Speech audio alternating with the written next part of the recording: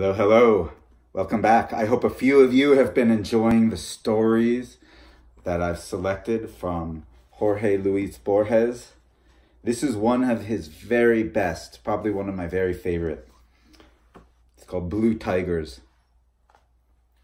A famous poem by Blake paints the tiger as a fire burning bright and an eternal archetype of evil. I prefer the Chesterton maxim that cat casts the tiger as a symbol of terrible elegance. Apart from these, there are no words that can ruin the tiger, that shape which for centuries has lived in the imagination of mankind. I've, I have always been drawn to the tiger. I know that as a boy I would linger before one particular cage at the zoo. The others held no interest for me. I would judge encyclopedias and natural histories by their engravings of the tiger. When the Jungle Books were revealed to me, I was upset that the tiger, Shere Khan, was the hero's enemy. As the years passed, this strange fascination never left me.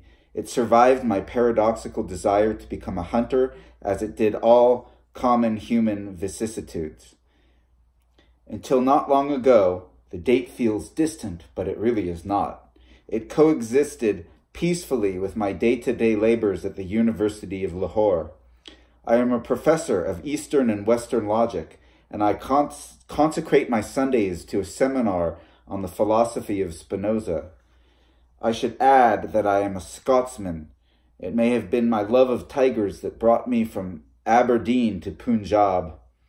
The outward course of my life has been the common one, but in my dreams I always saw tigers. Now, now it is other forms that fill them. I have recounted all these facts more than once until now they seem almost to belong to someone else. I, left it, I let them stand, however, since they are required by my statement. Toward the end of 1904, I read that in the region of the Ganges Delta, a blue variety of the species had been discovered. The news was confirmed by subsequent telegrams, with the contradictions and incongruities that one expects in such cases. My old love stirred once more. Nevertheless, I suspected some error, since the names of colors are notoriously imprecise. I remembered having once read that in Icelandic, Ethiopia was Blaland, Blue Land, or the land of black men. The blue tiger might well be a black panther. Nothing was mentioned of stripes. The picture published by the London press showing a blue tiger with silver stripes was patently apocryphal. Similarly, the blue of the illustration looked more like that of heraldry than reality. In a dream, I saw tigers of a blue I had never seen before, and for which I could find no word. I know it was almost black, but that description, of course, does not does scant justice to the shade I saw in my dream. Some months later, a colleague of mine told me that in a certain village miles from the Ganges, he had heard talk of blue tigers. I was astonished by that piece of news because tigers are rare in that area. Once again, I dreamed of the blue tiger throwing its long shadow as it made its way over the sandy ground. I took advantage of the end of term to make a journey to that village, whose name, for reasons that will soon be clear, I do not wish to recall. I arrived toward the end of the rainy season. The village squatted at the foot of a hill, which looked to me wider than it was high and was surrounded and menaced by the jungle, which was a dark brown color. Surely one of the pages of Kipling contained that village of my adventure, since all of India, all the world somehow, can be found there. Suffice it to report that a ditch and swaying cane stock bridges constituted the hut's fragile defense. Toward the south, there were swamps and rice fields, and a ravine with a muddy river whose name I never learned, and beyond that, again, the jungle. The people who lived in the village were Hindus. I did not like this, though I had foreseen it. I have always gotten along better with Muslims, though Islam, I know, is the poorest of the religions that spring from Judaism. We feel ordinarily that India teems with humanity.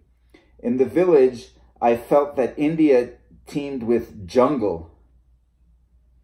It crept virtually into the huts. The days were oppressive, and the nights brought no relief.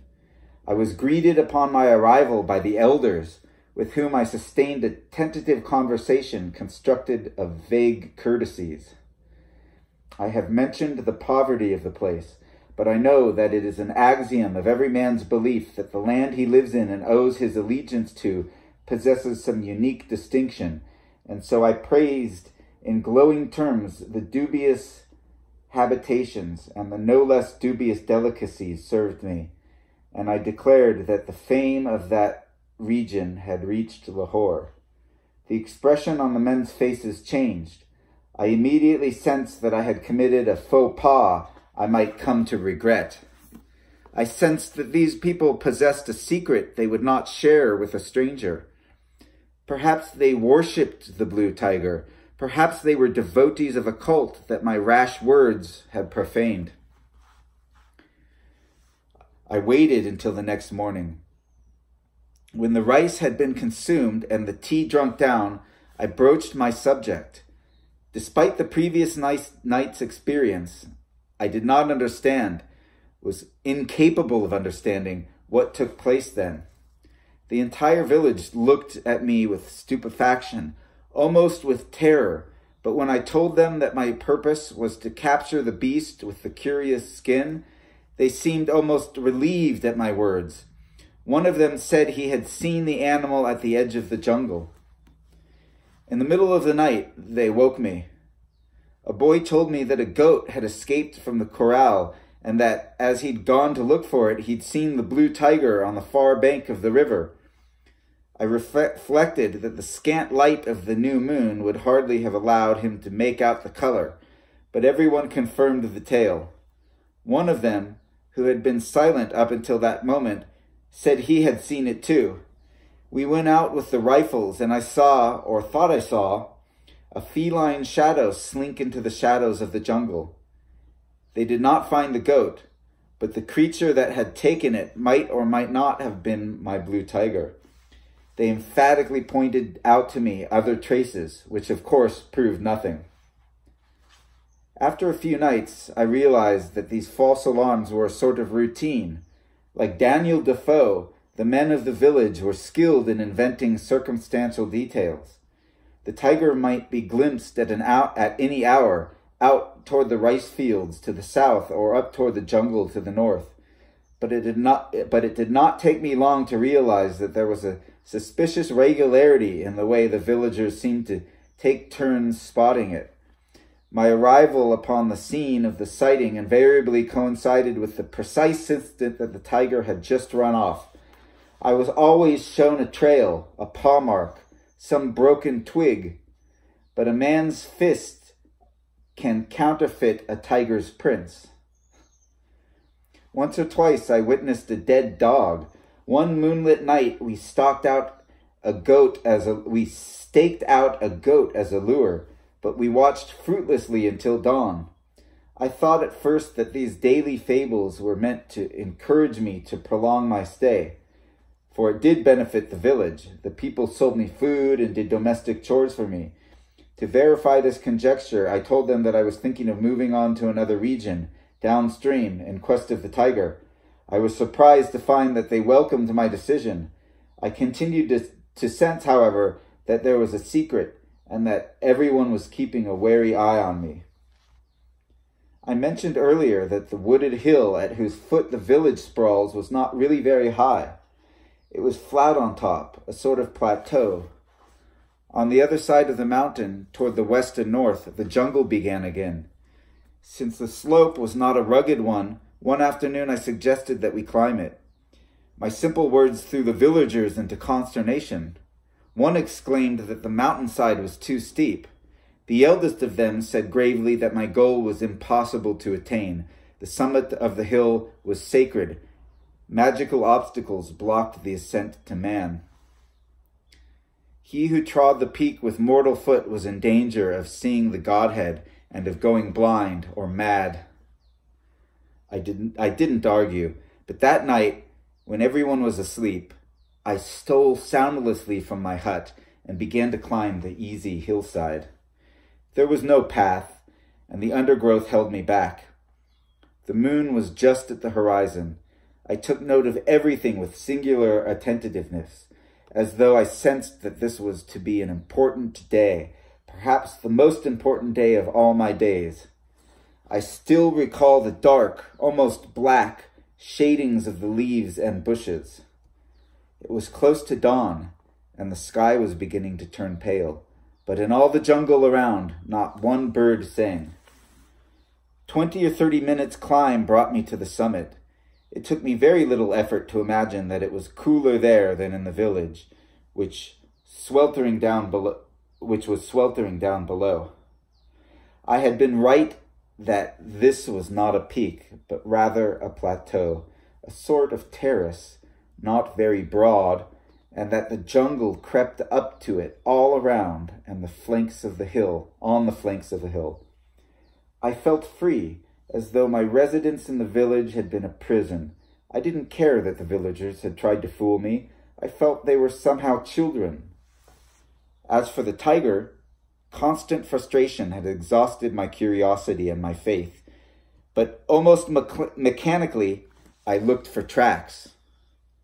The ground was cracked and sandy. In one of the cracks, which, by the way, were not deep, and which branched into others, I caught a glimpse of a color. Incredibly, it was the same color as the tiger of my dreams. I wished I had never laid eyes on it. I looked closely. The crevice was full of little stones, all alike, circular, just a few centimeters in diameter and very smooth. The regularity lent them an air almost of artificiality, as though they were coins or buttons counters in some game. I bent down, put my hand into the crevice, and picked out some of the stones. I felt a faint quivering. I put the handful of little stones in the right pocket of my jacket, where there were a small pair of scissors and a letter from Allahabad. Those two chance objects have their place in my story. Back in my hut, I took off my jacket. I lay down and dreamed once more of the tiger. In my dream, I took special note of its color. It was the color of the tiger I had dreamed of, and also of the little stones from the plateau. The late morning sun in my face woke me. I got up. The scissors and the letter made it hard to take the discs out of the pocket. They kept getting in the way. I pulled out a handful, but felt that there were still two or three I had missed. I, a tickling sensation, the slightest sort of quiver, quivering, imparted a soft warmth to my palm. When I opened my hand, I saw that it held 30 or 40 discs. I'd have sworn I'd picked up no more than 10. I left them on the table and turned back to get the rest out of the pocket. I didn't need to count them to see that they had multiplied. I pushed them together into a single pile and tried to count them out one by one. That simple operation turned out to be impossible. I would look fixedly at any one of them, pick it up with my thumb and index fingers, yet when I had done that, when that one disc was separated from the rest, rest it would have become many. I checked to see that I didn't have a fever, which I did not. And then I performed the same experiment over and over again. The obscene miracle kept happening. I felt my feet go clammy and my bowels turn to ice. My knees began to shake. I do not know how much time passed. Without looking at the discs, I scooped them in the pile and threw them out the window. With a strange feeling of relief, I sensed that their number had dwindled. I firmly closed the door and lay down on my bed. I tried to find the exact position I had been lying in before, hoping to persuade myself that all this had been a dream. So as not to think about the discs yet somehow yet somehow fill the time, I repeated with slow precision, aloud, the eight definitions and seven axioms of ethics. I am not sure they helped. In the midst of these exercise, exorcistic exercises, I, a knock came at my door. Instinctively fearing that I had been overheard talking to myself, I went to the door and opened it. It was the headman of the village, Bhagwan Das. For a second, his presence seemed to restore me to everyday reality. We stepped outside. I harbored some hope that the dis discs might have disappeared, but there they were, on the ground. I no longer can be sure how many there were. The, the elder looked down at them and then looked at me. These, these stones are not from here. They are stones from up there, he said, in a voice that was not his own. That's true, I replied.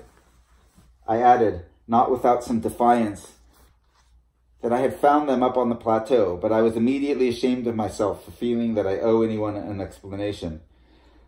Bhagwan Das ignored me. He continued to stare in fascination at the stones. I ordered him to pick them up. He did not move. I am grieved to admit that I took out my revolver and re repeated the order, this time in a somewhat more forceful tone of voice. A bullet in the breast is preferable to a blue stone in the hand, stammered Bhagwan Das. You are a coward, said I. I was, I believe, no less terrified than he, but I closed my eyes and picked up a handful of stones with my left hand. I tucked the pistol in my belt and dropped the stones one by one into the open palm of my right hand. Their number had grown considerably. I had unwittingly become accustomed to those transformations. They now surprised me less than Bhagwan Das's cries. These are the stones that spawn, he, he exclaimed. There are many of them now, but they can change. Their shape is that of the moon when it is full, and their color is the blue that we are permitted to see only in our dreams. My father's father spoke the truth when he told men of their power. The entire village crowded around us. I felt myself to be the magical possessor of those wondrous objects. To the astonishment of all, I picked up the discs, raised them high, dropped them, scattered them, watched them grow and multiply or mysteriously dwindle. The villagers huddled together, seized with astonishment and horror. Men forced their wives to look upon the wonder. One woman covered her face with her forearm. Another squeezed her eyes shut tight. No one had the courage to touch the discs, save one happy boy child that played with them. Just at that moment, I sensed that all this confusion was profaning the miracle. I gathered the discs, all of them I could, and returned to my hut. It may be that I have tried to forget the rest of that day, which was the first of a, of a misfortunate series that continues even until now. Whether I tried to forget the day or not, I do not remember. Toward evening, I began to think back on the night before, which had not been a particularly happy one, with a sort of nostalgia. At least it, like so many others, had been filled with my obsession with the tiger. I tried to find solace in, in that image once cha once charged with power, now trivial. The blue tiger seemed no less innocuous than the Roman's black swan, which was discovered subsequently in Australia. Rereading what I have written, I see that I have committed a fundamental error. Led astray by the habit of that good or bad literature wrongly called psychology, I have attempted to recover, I do not know why, the linear chronology of my find. Instead, I should have stressed the, mon the monstrousness of the discs. If someone were to tell me that there are unicorns on the moon, I could accept or reject the report or suspend judgment. But it is, but it is something I could imagine. If, on the other hand, I were told that six or seven unicorns on the moon could be three, I would declare a priori that such a thing was impossible. The man who has learned that 3 plus 1 are 4 doesn't have to go through a proof of that assertion with coins or dice or chess pieces or pencils. He knows it, and that's that. He cannot conceive a different sum. There are mathematicians who say that 3 plus 1 is a tautology for 4, a different way of saying 4. But I, Alexander Craigie, of all men on earth, was fated to discover the only objects that can contradict the essential law of the human mind. At first, I was in a sort of agony, fearing that I'd gone mad. Since then, I have come to believe that it would have been better had I been merely insane, for my personal hallucinations would be less disturbing than the discovery that the universe can tolerate disorder. If 3 plus 1 can be 2, or 14, then reason is madness. During that time, I often dreamed about the stones. The fact that the dream did not recur every night left me a sliver of hope, though a hope that soon turned to terror. The dream was always more or less the same. The beginning heralded the feared end. A spiral staircase, an iron railing, and a few iron treads, and then a cellar, or system of cellars, leading through the depths to other stairways that might abruptly end, or suddenly lead into ironworks, locksmiths' forges, dungeons, or swamps. At the bottom, in their expected crevice in the earth, the stones, which were also behemoth or leviathan, the creatures of the scriptures that signify that signify that God is irrational. I would awaken trembling, and there the stones would be, in their box, ready to transform themselves. The villagers' attitude toward me began to change. I had been touched by something of the divinity that adhered to the stones the villagers had named blue tigers, but I was also known to have profaned the summit. At any moment of the night, at any moment of the day, the gods might punish me. The villagers dared not attack me or condemn what I had done, but I noticed that everyone was now dangerously servile. I never again laid eyes on the child who had played with the stones. I feared poison or a knife in the back. One morning before dawn, I slipped out of the village. I sensed that its entire pop population had been keeping an eye on me and that my escape would be a relief to them. Since that first morning, no one had ever asked to see the stones. I returned to Lahore, the handful of discs in my pocket. The familiar environment of my books did not bring the relief I sought. That ab ab abominable village and the jungle and the jungle's thorny slope rising to the plateau, and on the plateau the little crevices, and with within the crevices, the stones, all that I felt continued to exist on the planet. My dreams confused and multiplied those dissimilar things. The village was the village was the stones. The jungle was the swamp. The swamp was the jungle. I shunned the company of my friends. I feared that I would yield to the temptation of showing them that dreadful miracle that undermined humanity's science. I performed several experiments. I made a cross-shaped incision in one of the discs, but that disc with the others, put that disc with the other others and shuffled them around. Within one or two conversions, I had lost it, though the number of discs had increased. I performed an, analog an analogous test, test with a disc from which I filed a semicircular notched. That disc also disappeared. I punched a hole in the center of one disc with an awl and tried the test, test again. That disc disappeared forever. The next day, the disc with the cross cut in it reappeared from its journey into the void.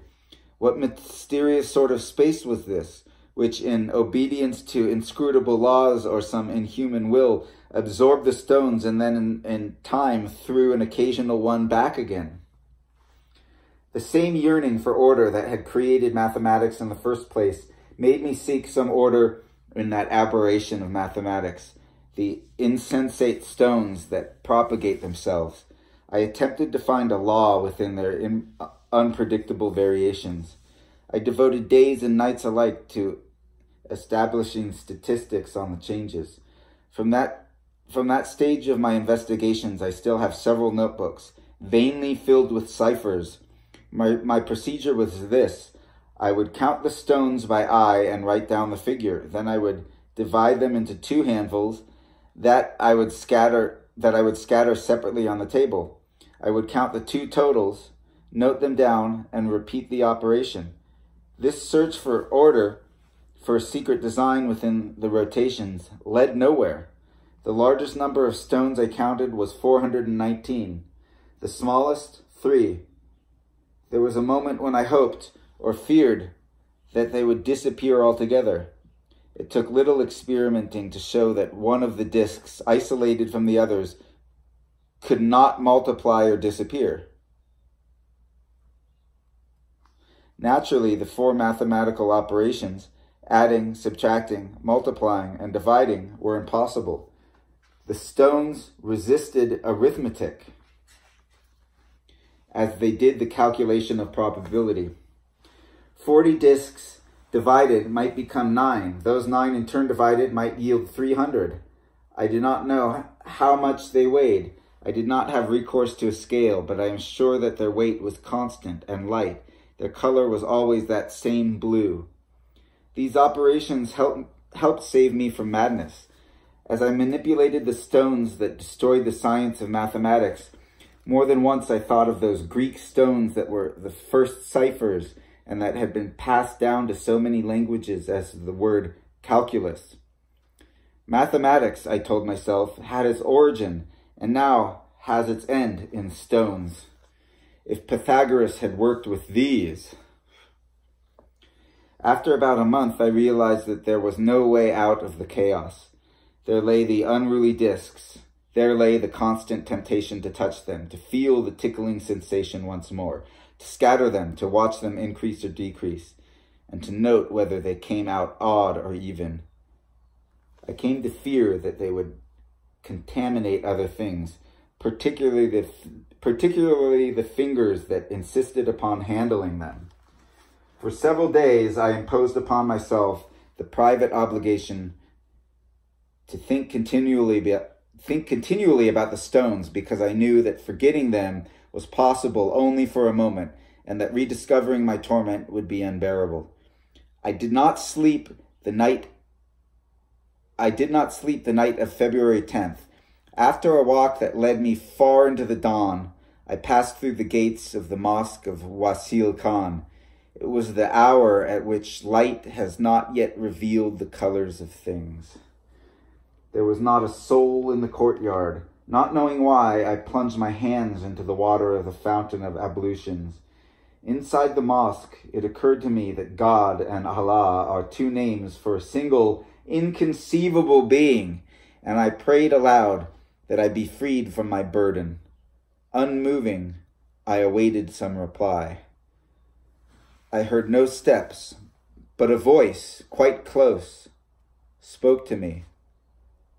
I am here, a beggar was standing beside me. In the soft light, I could make out his turban, his sightless eyes, his, his sallow skin, his gray beard. He was not very tall. He put out a hand to me and said still softly, Alms, O protector of the poor. I put my hands into my pocket. I have not a single coin, I replied. You have many, was the beggar's answer. The stones were in my right pocket. I took out one and dropped it into his cupped palm. There was not the slightest sound. You must give me all of them, he said. He who gives not all has given nothing. I understood, and I said, I want you to know that my alms may be a curse.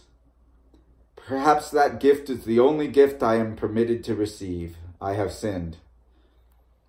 I dropped all the stones into the concave hand. They fell as though into the bottom of the sea, without the slightest whisper. Then the man spoke again. I do not know, I do not yet know what your gift to me is, but mine to you is an awesome one. You may keep your days and nights, and keep wisdom, habits, the world. I did not hear the blind beggar's steps or see him disappear into the dawn.